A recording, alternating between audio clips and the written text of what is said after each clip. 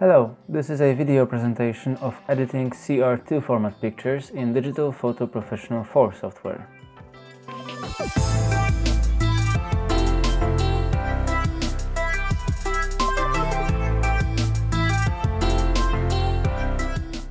So if you're uh, using a Canon product, a Canon camera, uh, many of these cameras uh, will have the option to shoot in CR2.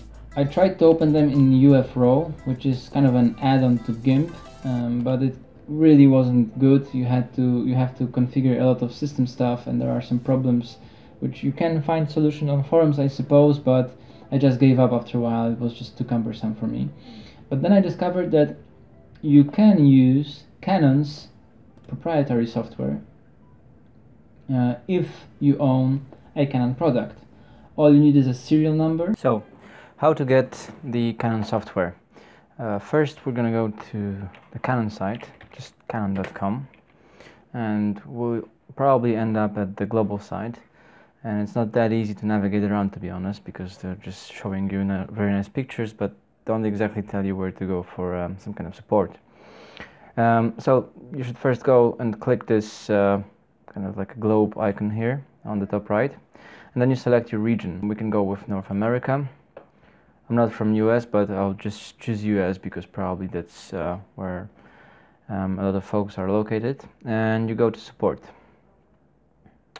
Um, and then you go to this section, you have drivers and downloads right there. Uh, then you type in the kind of camera you have. So I'm going to type just G7X because that's what I have um, and you it should prompt you with a correct full name. I have the Mark 1, so that's why I'm gonna select. It doesn't really matter because uh, any kind of camera will get this support. Um, but you have to select one because obviously you'll need to present a um, an appropriate serial number once you want to download. And right there you can see um, you have Digital Photo Professional 4.5.4.10 for Windows. That's the latest version and you just um, download this and that's where you'll have to provide your serial number from the product. So let's say you're from Europe um, that is even more probable given that I'm from this uh, area. So let's click and you can choose any kind of country you come from. If it's not on the list you just select other countries regions and then the sites uh, look pretty similar in all languages but you can go to support and then you select uh, software. And then you'll have to provide again your camera type. I already have selected PowerShot so it remembers so I'm just going to click this one. And you'll go to the drivers section. Um, but in the drivers section the software is not there. It's in the software section obviously. And uh, if you scroll down there you see digital photo professional 4.5.10 then you just uh, download. You accept the conditions um, of the license use and then you have the serial number page again. And from there on once you submit the serial number page um, you will get uh, the download just uh, direct download uh, from the browser to your um, desktop. And then the installation is pretty straightforward.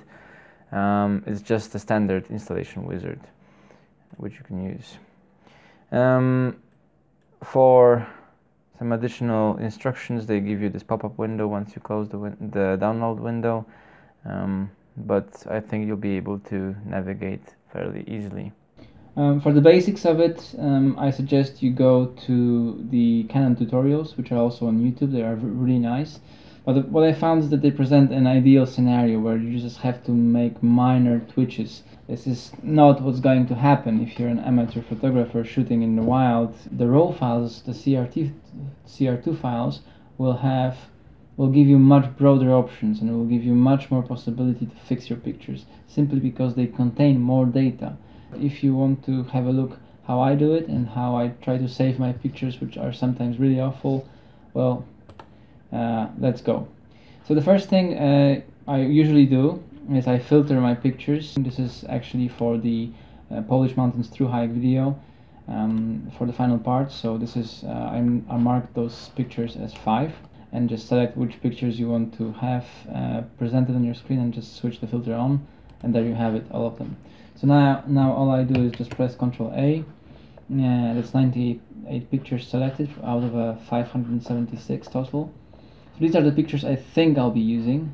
Um, because I have already rejected the ones that were truly hopeless. And then I can just select them all and click edit image. That lines them up nicely in here, uh, which is really really useful. Mm, and this is and this is the way I suggest you start editing your pictures. I'll show you in a minute why uh, I say that.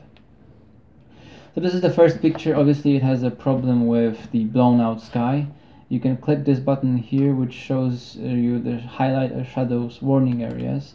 And as you can see these are the areas that are actually lost. But all the other things can be recovered. So just right off the bat the first thing I usually do is these here uh, these controls because they allow you to control the exposure for shadows and highlights.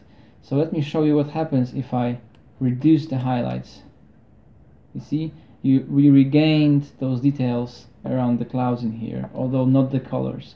That's the problem with with blowing out your pictures that um, you lose some of the details. The color goes first. We can now adjust the highlights a bit um, but we still need to reduce the overall brightness of this picture. So what we can do we can do it in two methods. Either brightness adjustment and now you see we've regained even more detail from, uh, from the sky. Or the way I do it is using the curves here. Now this looks complicated and really scary but you don't have to be scared. What that tells you is the bottom part um, how much shadows you have. You see in here there's not a lot of shadows so I can clip it. And that's what's calling crushing the blacks so I make blacks even more black. If I go too, too, far, too far, you can see I just start to lose details from the shadows. So in the histogram here, it shows you where the data are. All this part was empty for me because I just overexposed the picture. And as well in here, you can adjust how bright the highlight is. The more you clip it, the, the brighter the highlight. Now you see in here, I lost my data. That's that's what that was clipped. That's overexposed. That's blown out. So I don't have any more data that I could have here if I used um, a lower uh, f-stop, a, higher f-stop or, or uh, shorter exposure time.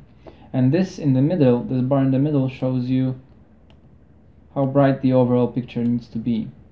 So what I usually do in blown out pictures is I go all the way to, the, to here to regain as much details as I can and then just adjust the brightness.